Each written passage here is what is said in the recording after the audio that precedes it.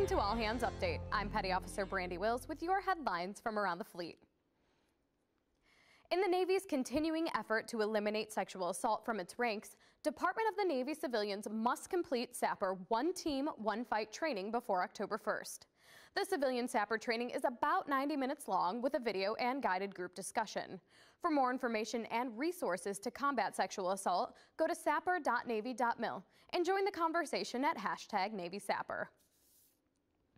Updated versions of the Petty Officer Selectee Leadership course were released August 20th. The changes include expanded sections on sexual assault prevention and response, as well as combat and operational stress control. Read more in NAVADMIN 207-13. You can read more about these stories at Navy.mil. From All Hands Update, thanks for watching.